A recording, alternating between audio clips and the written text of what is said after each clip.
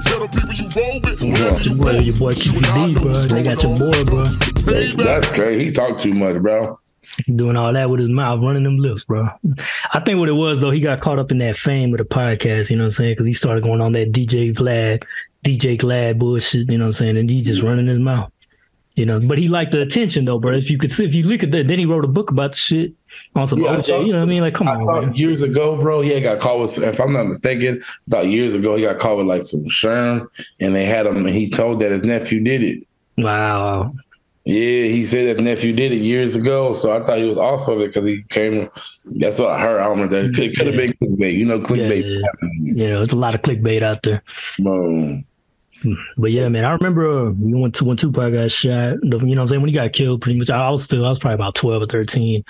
But I remember hearing all the rumors that it was, uh, you know, some LA gang shit. Because I remember the gang war, remember? Um, Yeah. And I remember seeing that on the news. Right afterwards, there's a gang war, and the two Yeah. hoods right around the corner from each other too. Yeah, I remember seeing that. The Mob Pirus and the South Sides.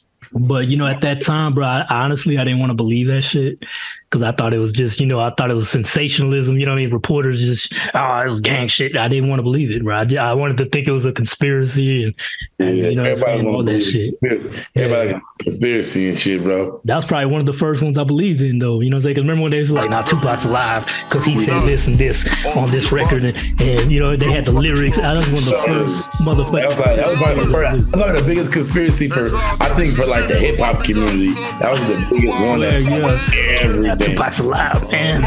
He was like Illuminati, and they killed him, and then that- that's why they killed him. Did he kill? Yeah. Crazy. It might have been. That might be the first hip hop like real big. Yeah, because it was Uh, deep, man. They got deep into that shit. Remember, because they were like, "Oh, then why didn't they show him his body?" And then they put out that autopsy, and he had his head turned. Remember Yeah, that shit? That shit was Yeah, fucked all up though. right. That they even leaked that shit though. To be honest. Oh, yeah, they leaked all his shit, bro. I, it was a, Y'all know Puffy getting robbed like a bitch. To hide that fact, he did some shit he shouldn't have did, so he riding for that.